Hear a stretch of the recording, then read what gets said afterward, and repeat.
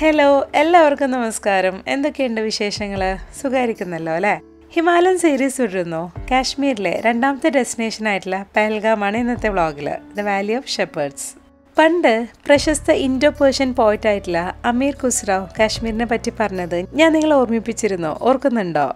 അഗർ ഫിർദോസ് ബാർ യെ ജമീനസ്ത് ഹമീനസ്തോ ഹമീനസ്തോ ഹമീനസ്തോ.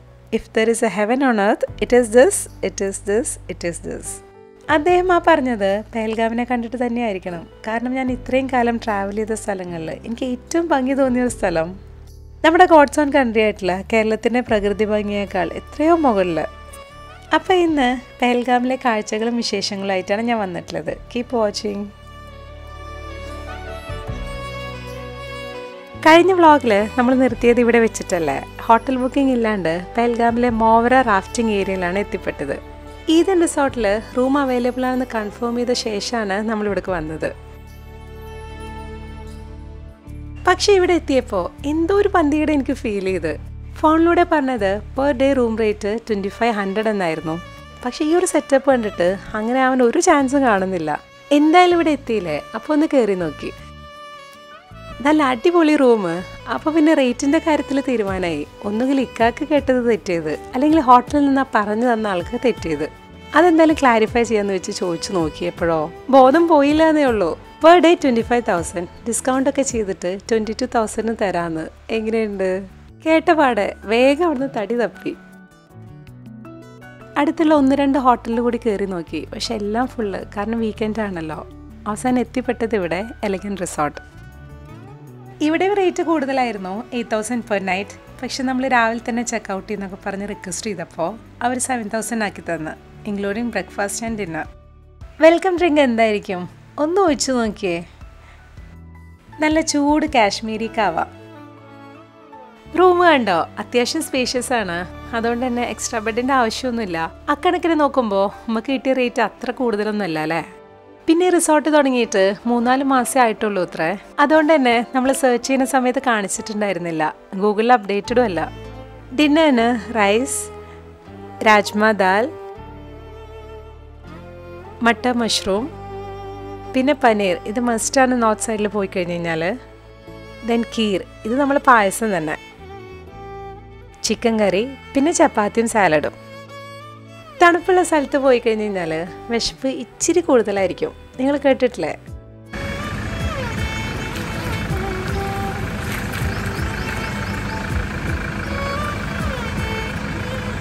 രാവിലെ നേരത്തെ എണീറ്റിട്ട് സൺറൈസ് പിടിക്കണം എന്നൊക്കെ വിചാരിച്ചതാ. പക്ഷെ എന്ത് ചെയ്യാൻ പറ്റും? ഉറങ്ങി എണീറ്റപ്പോഴേക്കും നേരം വെളുത്ത് സൂര്യനങ്ങ് മേലെ എത്തിപ്പോയി. എന്നാലും നമ്മളുണ്ട് ഇവിടുന്ന്? കിട്ടുന്ന സ്ഥലത്ത് വെച്ചിട്ട് മുപ്പര് പിടിച്ച്.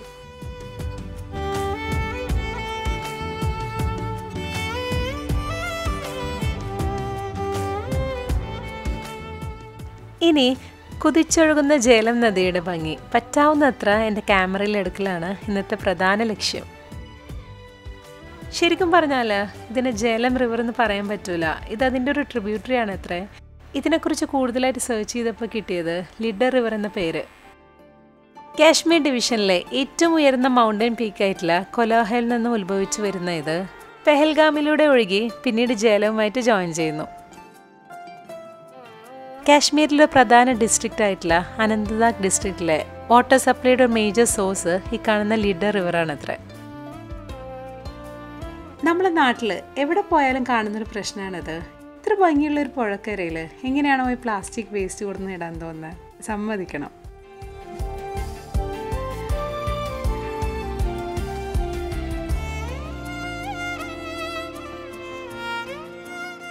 നമ്മൾ നാട്ടിൽ കാണുന്ന പുഴകളുണ്ടല്ലോ. അതുപോലത്തെ ഒരു കളറേ അല്ല ഇതിന്. നല്ല ഭംഗിയുള്ളൊരു പച്ച നിറം.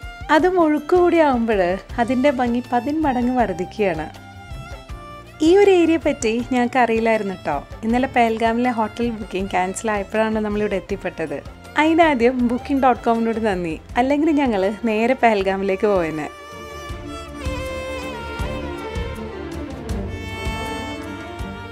മോവ്ര റാഫ്റ്റിംഗ് പോയിന്റ് എന്നാണ് ഈ സ്ഥലത്തിന്റെ പേര്. പക്ഷെ റിവർ റാഫ്റ്റിങ്ങിന്റെ സെറ്റപ്പ് ഒന്നും നമ്മൾ കണ്ടില്ല. ഞങ്ങൾ പിന്നെ ആരോടും ചോദിക്കാനും നിന്നില്ല. ഇനിയിപ്പോൾ ഉണ്ടെങ്കിൽ തന്നെ നമുക്ക് പോകാനും ടൈമില്ലല്ലോ ആ കൂടി ഒരു ദിവസമേ ഉള്ളൂ രണ്ട് മൂന്ന് വാലീസും കവർ ചെയ്യണം. ദ വാലി ഓഫ് ഷെപ്പേർഡ്സിൽ ഈ ഒരു കാഴ്ച കണ്ടില്ലെങ്കിൽ മോശമല്ലേ? രാവിലത്തെ ചുറ്റിക്കറങ്ങളൊക്കെ കഴിഞ്ഞ് ഹോട്ടലിൽ തിരിച്ചെത്തിയപ്പോഴേക്കും ദേ ബ്രേക്ക്ഫാസ്റ്റ് റെഡി അപ്പോൾ വേഗം കുട്ടികളെ എണീപ്പിച്ചിട്ട് റെസ്റ്റോറന്റിലേക്ക് ചെന്ന്. ബ്രേക്ക്ഫാസ്റ്റിന് എന്തൊക്കെയാന്ന് കാണണ്ടേ ചന മസാല പൂരി പിന്നെ നോർത്ത് സൈഡിൽ പോയി കഴിഞ്ഞ് കഴിഞ്ഞാൽ എപ്പോഴും കോമൺ ആയിട്ട് ഉണ്ടാവുന്ന ഒരു ബ്രേക്ക്ഫാസ്റ്റ് ഐറ്റം ഈ കാണുന്ന പോഹ പിന്നെ ഇതൊരു വെറൈറ്റി ആയിരുന്നു കേട്ടോ ന്യൂഡിൽസ് എന്തായാലും ഇത്ര ദിവസം കഴിച്ച ആലു പൊറോട്ടയിൽ നിന്നും ദഹിന്നും ഒരു മോചനം ഉണ്ടായി ഐ വാസ് സോ ഹാപ്പി और इधर बर्फ के टाइम इधर सब होता है बर्फ के टाइम तो यहाँ पे बर्फ होता है यहाँ एक दो फीट हाँ यहाँ भी होता है? हाँ यहाँ भी यहाँ तो क्या श्रीनगर में भी होता है? हाँ। लेकिन विंटर बहुत मुश्किल होता है। बिजली चली जाती है दस दिनों के लिए बारह दिनों के लिए। वो मसला होता है। तो वो टाइम पे क्या रिसोर्ट सब चालू रहेगा? हाँ।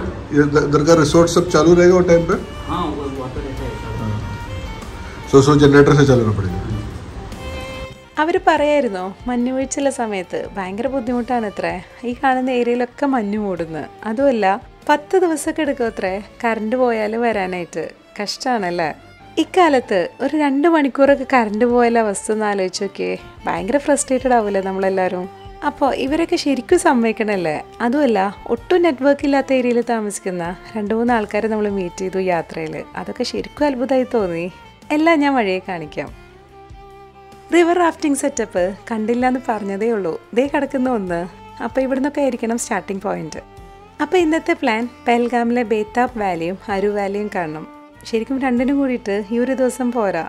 പക്ഷെ എന്ത് ചെയ്യാൻ പറ്റും? നമ്മൾ ഇറ്റ്നറി ഉണ്ടാക്കിയ സമയത്ത് ആ കൂടി ഒരു ദിവസം പെൽഗാമിന് കൊടുത്തിട്ടുള്ളൂ. ഈ ഒരു ഒറ്റ കാര്യം മാത്രമാണ് നമ്മുടെ മൊത്തം ട്രിപ്പ് പ്ലാനിങ്ങിൽ ഒരു മിസ്റ്റേക്കായി തോന്നിയത്. പെഹൽഗാമിലേക്ക് പോകുന്ന വഴി നീള ലിഡർ കൂടെ തന്നെ ഉണ്ടായിരുന്നു. അപ്പൊ പിന്നെ ഒരു തവണ കൂടി വഴിയിലിട്ട് പിടിച്ച് അത്രയ്ക്ക് ഉണ്ടായിരുന്നു അതിന്റെ ഭംഗി. ശരിക്കും പറഞ്ഞാൽ ഈ പുഴ മാത്രമല്ല അതിന്റെ ചുറ്റുമുള്ള പച്ചപ്പും പുഴക്ക് കാവലെന്ന പോലെ കിടക്കുന്ന കുന്നുകളും പിന്നെ അങ്ങ് ദൂരെ മഞ്ഞ് മൂടി കിടക്കുന്ന ഹിമവാനും. നിങ്ങൾക്കൊരു കാര്യം അറിയോ? ലിഡ റിവർ ജേലം നദിയോട് ചേർന്ന് പിന്നീട് പാകിസ്ഥാനിലേക്കാണ് ഒഴുകുന്നത്. ഇന്ത്യയും പാകിസ്ഥാനും തമ്മിൽ നയന്റീൻ സിക്സ്റ്റീനിൽ ഉണ്ടാക്കിയ ഇൻഡസ് വാലി ട്രീറ്റി പ്രകാരം ഇന്ത്യയിൽ നിന്ന് പാകിസ്ഥാനിലേക്ക് ഒഴുകുന്ന അഞ്ച് നദികളിലൊന്നാണ് ഈ ജലം. ഇതുകൂടാണ്ട് പാകിസ്ഥാനിലേക്ക് ഒഴുകുന്ന മറ്റു നദികളുടെ പേരറിയോ? ഞാൻ പറയാം. ചിനാബ് രവി സത്ലജ് ആൻഡ് ബിയാസ്. ഇതിൽ ഏകദേശം നാല് റിവേഴ്സ് നമ്മൾ ഈ യാത്രക്കിടയിൽ കാണുന്നുണ്ട്. ജേലം ആൻഡ് ചിനാബ് നമ്മളിപ്പോൾ കണ്ടല്ലോ. അമൃത്സറിൽ വരുന്ന വഴിയിൽ എവിടെയോ വെച്ചിട്ട് നമ്മൾ രവി റിവർ ക്രോസ് ചെയ്തിട്ടുണ്ടാവും. ഈ യാത്രയിൽ ബിയാസ് നദിയും കാണും. അങ്ങ് ഹിമാചലെത്തുമ്പോൾ പിന്നെ ബാക്കിയുള്ളത് സത്ലജ് റിവറാണ് അത് കാണൂല. പിന്നീട് ഒരിക്കൽ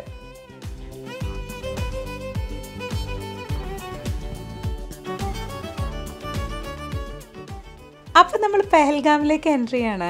To the valley of shepherds ഇടയന്മാരുടെ താഴ്വര എന്നാണ് പെഹൽഗാമിനെ അറിയപ്പെടുന്നത്. ഷുവറായിട്ടും നമ്മൾ ഈ അത്ഭുത നാട് കാണാൻ ഇറങ്ങിക്കഴിഞ്ഞ് കഴിഞ്ഞാൽ എന്തുകൊണ്ടാണ് അങ്ങനെ പറയുന്നതെന്ന് എളുപ്പം മനസ്സിലാക്കാൻ പറ്റും. പുൽമേടകളാണ് ഇവിടെ മൊത്തം. പൈൻ മരങ്ങളും പിന്നെ ഈ ലിഡ നദിയും. കാശ്മീരിലെ എല്ലാ ടൂറിസ്റ്റ് സ്പോട്ടിലേക്ക് കയറുന്നതിന് മുന്നേറ്റ് ഒരു എൻട്രി ഫീ ഉണ്ട്. അത്ര കൂടുതലൊന്നുമില്ല. ഒരു ഫിഫ്റ്റി ടു സെവന്റി റേഞ്ചിൽ പെഹൽഗാമിൽ നമുക്ക് കാണാനുള്ള രണ്ട് മെയിൻ സ്ഥലങ്ങൾ ഏതൊക്കെയാണെന്ന് വെച്ച് കഴിഞ്ഞാൽ ബേത്താബ് വാലിയും അരു വാലിയും. ഇതിൽ ആദ്യം നമ്മൾ പോകുന്നത് ബേത്താബ് വാലിയിലേക്കാണ്. ഇവിടുന്ന് ഏകദേശം ഏഴ് കിലോമീറ്റർ ഉണ്ട് അങ്ങോട്ട്. ഈ ഏഴ് കിലോമീറ്ററിലും ലിഡ റിവർ നമ്മളെ കൂടെ തന്നെ ഉണ്ടായിരുന്നു. ഒരു വഴികാട്ടി എന്ന പോലെ. ഗൂഗിൾ മാപ്പ് പ്രകാരം ബേത്താബ് വാലിയിലേക്ക് ഇവിടുന്ന് റൈറ്റ് എടുത്ത് പോകണം പോയി നോക്കാം അല്ലേ? ഈ ബേത്താബ് വാലിക്ക് ആ പേരെങ്ങനെയാണ് കിട്ടിയതെന്നറിയോ? ആക്ച്വലി ഈ സ്ഥലത്തിന്റെ പേര് ഹഗൻ വാലി എന്നാണ്. ബോളിവുഡ് ആക്ടേഴ്സ് ആയിട്ടുള്ള സണ്ണി ഡിയോളും അമൃത സിംഗും കൂടി അഭിനയിച്ച ബേത്താബ് എന്ന ഹിന്ദി മൂവി ഇവിടെ വെച്ചിട്ടാണ് ഷൂട്ട് ചെയ്തിട്ടുള്ളത്. അങ്ങനെയാണ് ഈ വാലിക്ക് ആ പേര് വന്നത് അത്ര. പക്ഷേ എന്റെ ഒരു അഭിപ്രായം ഞാൻ പറഞ്ഞോട്ടെ. ഈ ബേത്താബ് വാലി എന്നുള്ള പേരിനേക്കാളും നല്ലത് ഹഗൻ വാലി എന്നല്ലേ? ആ ഒരു മൂവി ഹിറ്റായെന്ന് കരുതിയിട്ട് എന്തിനാണാവോ ഈ സ്ഥലത്തിന്റെ പേര് തന്നെ മാറ്റിയത്? ലിഡ നദിയുടെ മനോഹാരിത ഏറ്റവും നന്നായി കാണാൻ പറ്റിയത് ഇവിടെ പാറക്കെട്ടുകൾക്കിടയിലൂടെ തട്ടിത്തെറിപ്പിച്ചു കൊണ്ടൊഴുകുന്ന പുഴയുടെ കളറിന് തന്നെയല്ലേ പ്രത്യേകത. നമ്മളെ നാട്ടിലെ അതിരപ്പള്ളിയും തുഷാരഗിരിയും പിന്നെ ചിന്നക്കനാലൊക്കെ ഇങ്ങനെ ഒഴുകുന്നത് ഞാൻ കണ്ടിട്ടുണ്ട്. പക്ഷേ ഒഴുകുന്ന വെള്ളത്തിന് ഇങ്ങനത്തെ ഒരു ഭംഗി ഞാൻ അവിടെ കണ്ടിട്ടില്ല കേട്ടോ. ഇവിടുന്ന് മുകളിലേക്ക് കുറച്ചുകൂടി നടന്നാൽ നല്ല ഭംഗിയുള്ള മേടോ കാണാൻ പറ്റുമത്രേ. പക്ഷെ ഞങ്ങൾ പോയില്ല. അവിടെ ആരോ പറഞ്ഞു ഇവിടുന്ന് ഒരു എട്ട് കിലോമീറ്റർ പോയി കഴിഞ്ഞ് കഴിഞ്ഞാൽ ചന്ദൻവാരി എന്നുള്ളൊരു സ്ഥലമുണ്ട് ഇത്ര. അവിടെ മഞ്ഞുണ്ടാവുമെന്ന് മാത്രമല്ല പോകുന്ന വഴിക്ക് ഈ ബേത്ത വാലിയുടെ നല്ല ഭംഗിയിലൊരു ഏരിയൽ വ്യൂ നമുക്ക് കാണാനും പറ്റും.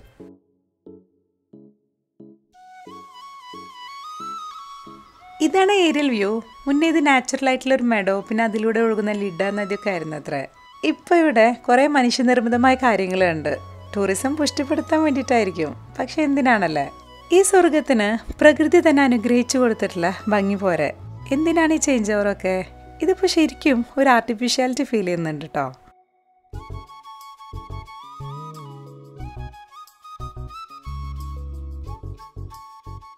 പെഹൽഗാം ടൗൺ ക്രോസ് ചെയ്യുമ്പോൾ കുറച്ച് മുന്തിരി വാങ്ങിയിട്ടുണ്ടായിരുന്നു. അപ്പോൾ ഒരു വെള്ളച്ചാട്ടം കണ്ടപ്പോൾ അതൊന്ന് കഴുകാൻ ഇറങ്ങിയതാണേ.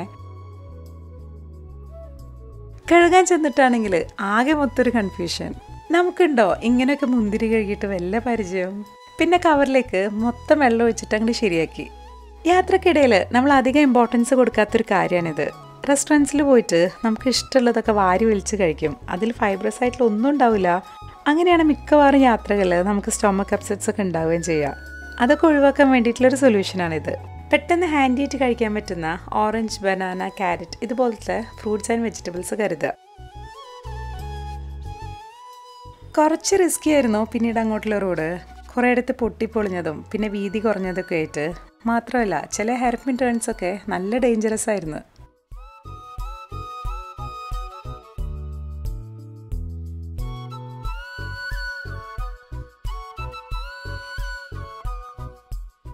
ബേത്ത വാലിയിൽ നിന്ന് ചന്ദൻവാരിയിലേക്ക് എട്ട് കിലോമീറ്റർ ദൂരേ ഉള്ളൂ എങ്കിലും ഞാൻ പറഞ്ഞല്ലോ റോഡ് അത്ര നല്ലതായിരുന്നില്ല. പാർക്കിങ്ങിന് ഒരു ഡെഡിക്കേറ്റഡ് സ്ഥലമൊക്കെ ഉണ്ടായിരുന്നു. പക്ഷെ അവിടെ മൊത്തം വണ്ടികളെ കൊണ്ട് നിറഞ്ഞിട്ടുണ്ടായിരുന്നു. അവസാനം റോഡ് സൈഡിൽ പാർക്ക് ചെയ്ത്. റോഡ് ഇവിടെ വരെയുള്ളൂ ഇവിടെ നിന്ന് അങ്ങോട്ട് മഞ്ഞുള്ള സ്ഥലത്തേക്ക് നടക്കണം. നിങ്ങൾ അമർനാഥ് ശിവക്ഷേത്രത്തെ പറ്റി കേട്ടുകയാണല്ലോ അവിടേക്ക് പോകാനുള്ള ഒരു വഴി ഇവിടുന്നാണ് തുടങ്ങുന്നത്.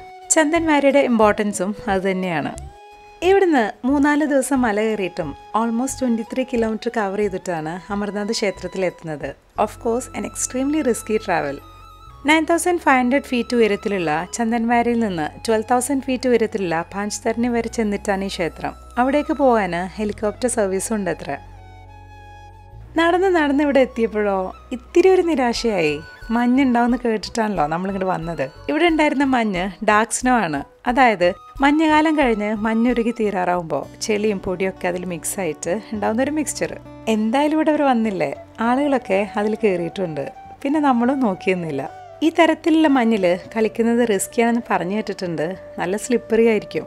അതിനേക്കാളൊക്കെ ഡേഞ്ചറസ് ചിലയിടത്ത് ഇതിന്റെ ഉള്ളിൽ വെള്ളം ഒഴുകിയിട്ട് ഹോളായിട്ടുണ്ടാവും അത്ര.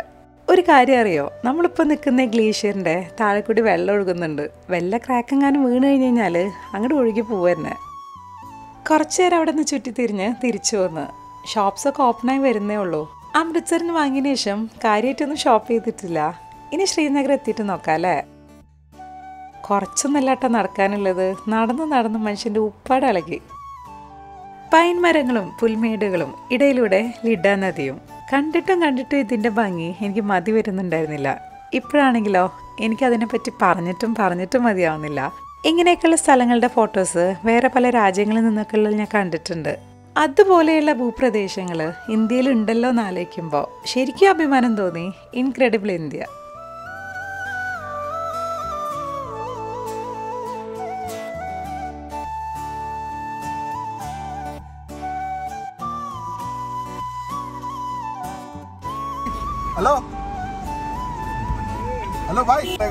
इधर से भी जा सकते हैं इधर नीचे से भी जा चौदह सकते पंद्रह किलोमीटर है कौन सा अच्छा रूट है हैं। रूट तो यही अच्छा है यहाँ से जाओ हाँ। आगे थाना आएगा थाना से थाना से राइट मोड़ ओके चलिए थैंक यू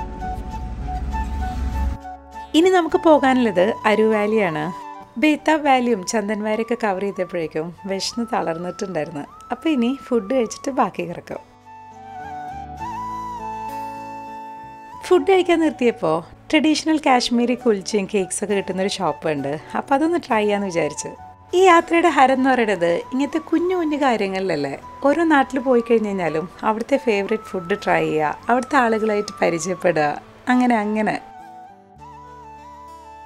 പുറത്തുനിന്ന് നോക്കിയപ്പോൾ ചെറിയൊരു ഷോപ്പ് പക്ഷെ ഉള്ളിൽ കയറിയപ്പോൾ അടിപൊളി വാട്ടർ ഫ്രണ്ട് സിറ്റിംഗ് ഏരിയ ഒക്കെ ആയിട്ട്. പിന്നെ അത്യാവശ്യം ഐറ്റംസ് ഒക്കെ ഉണ്ട് കഴിക്കാൻ ഞങ്ങൾ മസാല ബ്രെഡ് ഓംലെറ്റിൽ തുടങ്ങി. നിങ്ങളാരേലും ഇതിനു മുന്നേ ഗ്രീൻ ചട്നി കൂട്ടിയിട്ട് ഇതുപോലെ ബ്രെഡ് ഓംലേറ്റ് കഴിച്ചിട്ടുണ്ടോ? ഞാൻ ആദ്യമായിട്ടാണ് സത്യം പറയാലോ കിഡ് കോമ്പിനേഷൻ ആയിരുന്നു കേട്ടോ കഷ്ടകാലത്തിന് മഴ പെയ്ത് അപ്പോൾ വേഗം ഉള്ളിലേക്ക് ഷിഫ്റ്റ് ചെയ്ത്. ഈ മഴയത്ത് ഇങ്ങനെ ചൂട് കാശ്മീരി കാവ കുടിക്കുമ്പോൾ കിട്ടുന്ന സുഖം. ഓഫ് പറഞ്ഞറിയിക്കാൻ പറ്റില്ല Malayalam movie Malayalam Kerala movie may?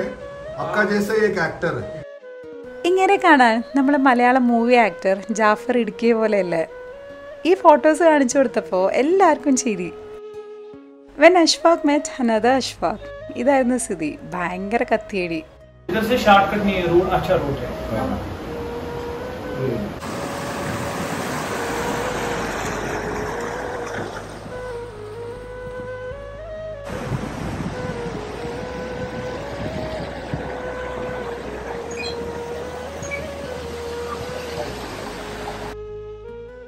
Next destination Aru valley ഞാൻ പറഞ്ഞിരുന്നല്ലോ കാശ്മീരിലും ഗൂഗിൾ മാപ്പ് നമുക്ക് പണി തന്നുകൊണ്ടേയിരുന്നു അപ്പം നമുക്ക് ചോദിച്ചു ചോദിച്ചു പോവാല്ലേ ഹരു വാലി കൈസ് ജന अरू वाली आरवेली वहाँ से पुलिस स्टेशन से ऊपर से रास्ता है इस साइड नहीं है इसे में वापस जाना है फिर लेफ्ट में मुड़ना है सर चलिए थैंक यू लेकिन ध्यान से जाना सर वो रोड थोड़ा हाँ खराब है അരുവാലിയിലേക്കുള്ള റോഡ് ഇത്തിരി റിസ്കിയാണെന്നും ശ്രദ്ധിച്ച് പോകണമെന്നാണ് മൂപ്പര പറഞ്ഞത് എന്തായാലും രണ്ടും കൽപ്പിച്ചാണല്ലോ നമ്മളെ യാത്ര. അപ്പോൾ പിന്നെ വരുന്നിടത്ത് വെച്ച് കാണാം. ഈ ഒഴുകുന്നതും ലിഡ് റിവർ തന്നെയാണ് കേട്ടോ അരു റീജിയനിലെ ലിഡ് വാട്ട് എന്ന സ്ഥലത്തിലൂടെ ഒഴുകി വരുന്നത് കൊണ്ടാണ് ഇതിന് ലിഡ് എന്നില്ല പേര് വന്നത്. നമ്മൾ നേരത്തെ ബേത്താബ് വാലിയിൽ കണ്ടത് ഈസ്റ്റ് ലിഡ് സ്ട്രീമാണ് ഇത് രണ്ടും പെഹൽഗാമിൽ വെച്ച് ജോയിൻ ചെയ്തിട്ട് അവിടുന്ന് അങ്ങോട്ട് ചേർന്നൊഴുകും. ഒരു വ്യൂ പോയിന്റ് കണ്ടപ്പോൾ ഒന്ന് പോയി നോക്കിയതാ. പ്രത്യേകിച്ച് ട്രാവൽ വ്ളോഗ്സ് ചെയ്യുന്ന സമയത്ത് എനിക്ക് മിസ്സായി കഴിഞ്ഞാൽ നിങ്ങൾക്കും കാണാൻ പറ്റില്ലല്ലോ. അതാണ് എന്റെ മനസ്സിൽ വരാറ്. സേഫായിട്ടുള്ള സ്ഥലം തോന്നിയപ്പോൾ നമ്മൾ മിനിക്കുട്ടി എന്ന് പറഞ്ഞയച്ച്. കാശ്മീരിന്റെ ഭംഗി പകുതിയെങ്കിലും ഈ ക്യാമറയിലൂടെ ഒപ്പിയെടുക്കാനായിട്ട്.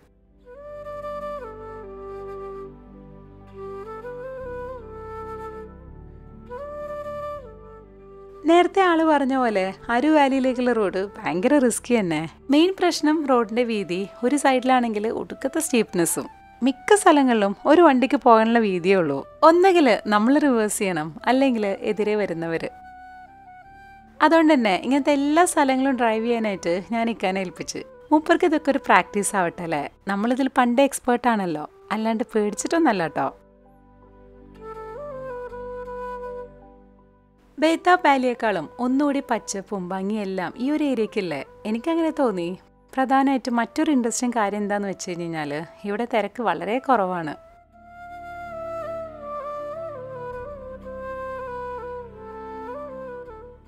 അരുവാലി എത്തി. ഈ ബോർഡും നോക്കിയേ.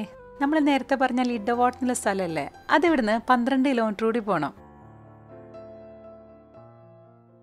ഇങ്ങനെ പോയിക്കൊണ്ടിരിക്കുമ്പോൾ റോഡിൽ നിന്ന് പുഴയിലേക്ക് പോകാനൊരു വഴി. ചിലപ്പോൾ പ്രൈവറ്റ് പ്ലോട്ടായിരിക്കും എന്നാലും രണ്ടും കൽപ്പിച്ച് വണ്ടി ഇറക്കി.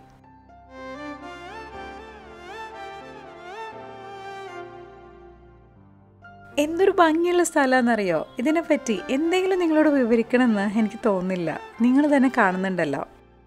ഈ ഒരു സ്ഥലം കണ്ടപ്പോൾ എന്റെ മനസ്സിലേക്ക് എന്താ ഓടി വന്നതെന്നറിയോ? ദേ ഇവിടെ ഇതുപോലൊരു കൊച്ചു വീട്. എന്നിട്ട് പ്രകൃതിയോട് അലിഞ്ഞു ചേർന്ന് ജീവിക്കുക. ആഹാ.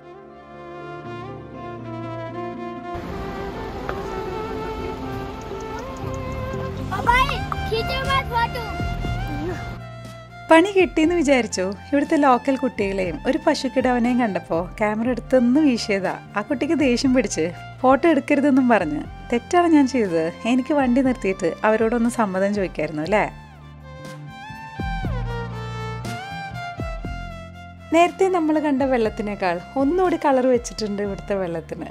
ശരിക്കും ഒരു ക്രിസ്റ്റൽ ബ്ലൂയിഷ് വാട്ടർ ഞങ്ങൾ ട്രിപ്പ് പ്ലാനിങ്ങിൽ പേൽഗാമിന് വെറും ഒരു ദിവസം കൊടുത്ത നിമിഷത്തെ ആലോചിച്ചിട്ട് വീണ്ടും ശപിച്ച് പതിനെട്ട് ദിവസം നീണ്ടു നിൽക്കുന്ന ഈ ട്രിപ്പ് പ്ലാൻ ചെയ്തപ്പോൾ ഞങ്ങൾ ചെയ്ത ഒരേ ഒരു മിസ്റ്റേക്ക് ഇതാണ്. ഇത്ര മനോഹരമായിട്ടുള്ള പ്രദേശം വെറുതെ ഒന്ന് കണ്ടുപോയാൽ എങ്ങനെ ശരിയാവാ? ഇവിടെ അറ്റ്ലീസ്റ്റ് രണ്ട് ദിവസത്തിലും താമസിച്ചിട്ടേ പോവാവൂ. കാശ്മീർ ട്രിപ്പ് പ്ലാൻ ചെയ്യുന്നവർ ഈ ഒരു കാര്യം കൂടി പ്രത്യേകം ശ്രദ്ധിക്കണം.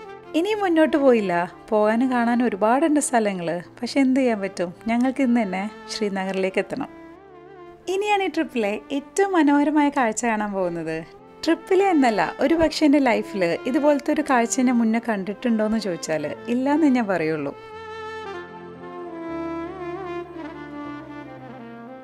എങ്ങനെയുണ്ട് ഇനി പറയൂ ഭൂമിയിലെ സ്വർഗം എന്ന് പറഞ്ഞതിൽ പ്രകൃതി ഭംഗിയുടെ കാര്യത്തിൽ അന്ന് ആ മഹാകവിക്ക് തെറ്റിയില്ല എന്ന് നമുക്ക് സമ്മതിച്ചൂടെ वो सब ठीक है कैसा लगा कश्मीर मस्त बैठो आप हैं?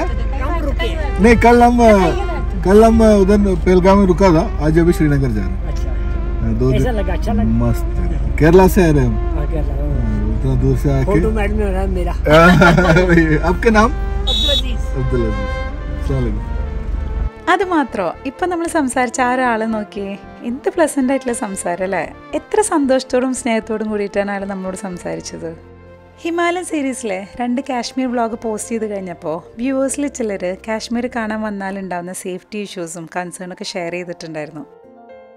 എന്നാൽ ഞാൻ പറയട്ടെ കാശ്മീർ നമ്മുടെ ആർമിയുടെ കയ്യിൽ വെൽ പ്രൊട്ടക്റ്റഡ് ആണ്. ശ്രീനഗർ എത്തുമ്പോൾ നിങ്ങൾക്കത് മനസ്സിലാവും. പിന്നെ ഇവിടുത്തെ ആളുകൾ അതിപ്പോൾ നിങ്ങൾ കണ്ടല്ലോ. യാത്രകൾ ഇഷ്ടപ്പെടുന്നവർ ഒരിക്കലും മിസ് ചെയ്യരുതാത്ത ഡെസ്റ്റിനേഷനാണ് കാശ്മീർ. തിരിച്ചു പോരുന്ന വഴിയിൽ പുഴയോട് ചേർന്നൊരു പാർക്കുണ്ട്. ഒന്നിറങ്ങി നോക്കാന്ന് പറഞ്ഞപ്പോൾ കൂടെയുള്ള രണ്ടാണുങ്ങൾക്കും ക്ഷീണം. You just go and come back നിർത്തൻ ഞങ്ങൾ പെണ്ണുങ്ങളുണ്ടോ? എടുത്തു വെച്ച കാൽ പുറകോട്ടെടുക്കുന്നത് ഒന്നും പറയാണ്ട് ഇറങ്ങി നടന്ന്.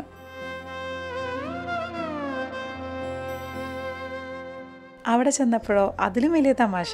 സെക്യൂരിറ്റിക്കാരനെ ജസ്റ്റ് ക്ലോസ് ചെയ്തിട്ടുണ്ടായിരുന്നുള്ളൂ ഗേറ്റ് ഒറ്റയ്ക്ക് തുറക്കാൻ പറ്റുകയാണെങ്കിൽ ഉള്ളോട്ട് കയറിക്കോളാൻ. പിന്നെ നമ്മളുണ്ടോ ഇടുന്ന് ഒരു കൈ നോക്കി. പക്ഷെ ഗേറ്റ് തുറക്കാൻ നോക്കിയപ്പോഴാണ് മൂപ്പർ എന്തിനാ അങ്ങനെ പറഞ്ഞതെന്ന് പൊടിയിട്ടിയത് അത്ര എളുപ്പമായിരുന്നില്ല കേട്ടോ. കാശ്മീരിനെ സ്വർഗമാക്കുന്ന പൽഗാമിലെ വിശേഷങ്ങൾ ഇവിടെ തീരെയാണ്. മനസ്സില്ല മനസ്സോടെയാണ് ഇവിടെ വിടുന്നത്. പക്ഷേ മനസ്സിലൊരു ശബ്ദം എടുത്തുകൊണ്ട് ആയുസും ആരോഗ്യം പടച്ചാൻ തന്നാൽ ഇനിയും വരും ഇവിടെ ഒരിക്കലും കൂടി. പക്ഷെ അന്നൊരു ദിവസത്തേക്കല്ല ഇവിടെ മൊത്തം കണ്ട് കൊതി തീരുന്നത് വരെ. ഇനി നമുക്ക് പോകാനുള്ളത് ശ്രീനഗറിലേക്കാണ്. ലോക പ്രശസ്തമായിട്ടുള്ള ദല്ലേ കാണാൻ ഗുൽമാർഗ് കാണാൻ. കാശ്മീരിനെ കാണാൻ. Stay tuned until then it's me Safna signing off bye bye